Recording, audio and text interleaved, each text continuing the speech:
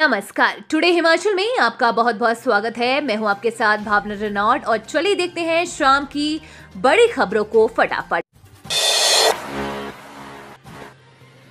हिमाचल में वन मित्र भर्ती के लिए फरवरी से शुरू होंगे फ़िज़िकल सीएम सुक्खू ने की घोषणा। कांस्टेबल के बाद सौ छब्बीस पदों को भरने का भी हुआ ऐलान।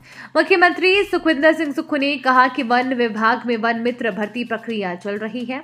फरवरी के पहले सप्ताह से शारीरिक परीक्षण शुरू हो जाएगा। उन्होंने पुलिस विभागों में कांस्टेबल के बाद सौ पद भरने की प्रक्रिया में तेज़ी लाने का निर्देश दिया। मुख्यमंत्री ने शिमला स्थित सचिवालय में प्रशासनिक सचिवों की बैठक की अध्यक्षता करते हुए प्रत्येक माह के अंतिम दो दिन राजस्व लोक अदालत आयोजित करने का निर्देश दिया। मुख्यमंत्री ने कहा कि सरकार लोगों को उनके घर द्वार के समीप विशेषज्ञ स्वास्थ्य सेवाएँ देने के लिए प्रतिबद्ध है। अभी तक 50 विधानसभा क्षेत्रों में आदर्श स्वास्थ्य संस्थान स्थापित किए जा चुके हैं। इनमें में छह छह विशेषज्ञ चिकित्सक तैनात किए गए हैं।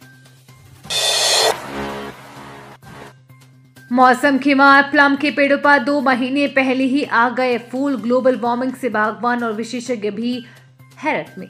हिमाचल प्रदेश के जिला मंडी में इस बार दो महीने पहले ही प्लम के पेड़ों पर फूल आना शुरू हो गए हैं। ग्लोबल वार्मिंग और तापमान बढ़ना इसकी वजह बताई जा रही है। मंडी के सिराज घाटी की लेहथाट पंचायत के गुनास गाँव में प्लम के बगीचों में फ्लावरिंग शुरू हो गई है। आमतौर पर मार्च के अंत में प्लम खोमानी और अन्य गुठलीदार फलों के पेड़ों में फ्लावरिंग होती है।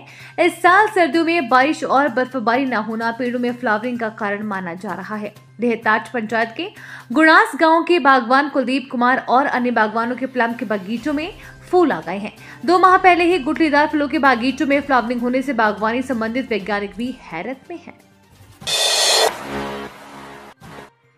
हिडिम्बा मंदिर के समीप अस्थायी दुकानों में भड़की आग, पंद्रह खोखे जले। हिमाचल प्रदेश के कुल्लू ज़िले के मनाली में स्थित हिडिम्बा मंदिर के समीप बनी अस्थायी दुकानों में आग लग गई। आग से लगभग पंद्रह खोखे जलकर राख हो गई हैं। जानकारी के अनुसार आग लगने के कारणों का पता नहीं चल पाया है। आग मध्य रात्रि लगभग दो बजे भड़की। पुलिस ने मामला दर्ज कर जाँच शुरू कर दी है। लीडिंग फायर अफसर सूरज भारद्वाज ने बताया कि आग की घटना में करीब चार लाख का नुकसान हुआ है। किसानों को जल्द मिलने वाली है सूखे से राहत। बारिश का अलर्ट जारी। आने वाले दिनों में ऐसा रहेगा मौसम का हाल। हिमाचल प्रदेश इस दौरान धुंध और कोहरे की चपेट में है, लेकिन प्रदेश सूखे की चपेट में है। इस संबंध में कहा गया है कि प्रदेश में सूखे से इस सप्ताह राहत मिल सकती है। इसी सप्ताह से दो पश्चिमी विक्षोभ सक्रिय होगा। मौसम विज्ञानी उम्मीद जता रहे हैं कि इस बार राहत मिलेगी। पहला पश्चिमी विक्षोभ पच्चीस जनवरी को सक्रिय होगा। इसके बाद सत्ताईस व अट्ठाईस जनवरी को फिर से पश्चिमी विक्षोभ सक्रिय होगा। इन सर्दियों में अब तक सक्रिय हुए पश्चिमी विक्षोभ बहुत कम प्रभावी रहे हैं। मंगलवार को मैदानी क्षेत्रों में अधिकतम तापमान में दो से पाँच डिग्री सेल्सियस की वृद्धि दर्ज की गई है। जबकि शिमला, किन्नौर, लाहौल स्पीति व चंबा में अधिकतम तापमान में दो से चार डिग्री की गिरावट दर्ज की गई है। मौसम विभाग ने शीतलहर का प्रभाव अधिक होने की आशंका जताई है।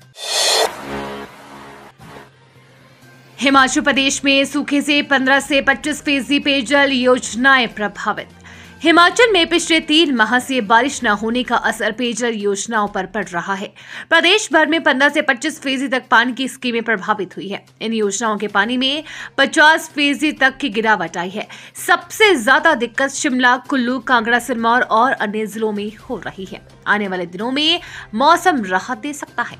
बता दें कि बारिश और बर्फबारी न होने से प्रदेश की सबसे बड़ी बिजली परियोजना नाथपा झाकड़ी समेत अन्य बिजली प्रोजेक्टों में भी विद्युत उत्पादन प्रभावित। हुआ है।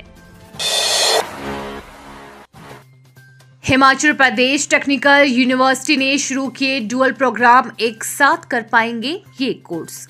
हिमाचल प्रदेश तकनीकी विश्वविद्यालय की अकादमिक परिषद ने अपने छात्रों के लिए राष्ट्रीय शिक्षा नीति 2020 के तहत दोहरे डिग्री कार्यक्रम शुरू करने के प्रस्ताव को मंजूरी दे दी है, यानी कि अब स्टूडेंट एक साथ दो कोर्स कर सकते हैं। इस बात की जानकारी यूनिवर्सिटी के एक प्रवक्ता ने दी। बता दें कि इस बात का फैसला विश्वविद्यालय के कुलपति प्रोफेसर शशि कुमार धीमान की अध्यक्षता में लिया गया। इसके लिए विश्वविद्यालय की अकादमिक परिषद की तैतीसवीं बैठक की गई थी। हिमाचल देश का पहला हरित राज्य बनने की ओर अग्रसर ग्रीन एनर्जी व ई वाहनों को दी जा रही प्राथमिकता।